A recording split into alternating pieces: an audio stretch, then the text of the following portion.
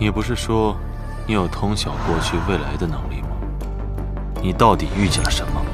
我看到的跟你有关的都很奇怪，你会因我而死。那我现在就杀了你，你的预言不就破了吗？父母亲人在上，仇人之女已结婚，万事俱备。那丫头跟先皇后长得一模一样，你现在更令我怀疑你的身份。雪晴，我母亲的仇，全家被灭门之仇，都要让他们血债血偿。我一定会受人恶毒，为我幕府雪恨。你对我到底是什么感情？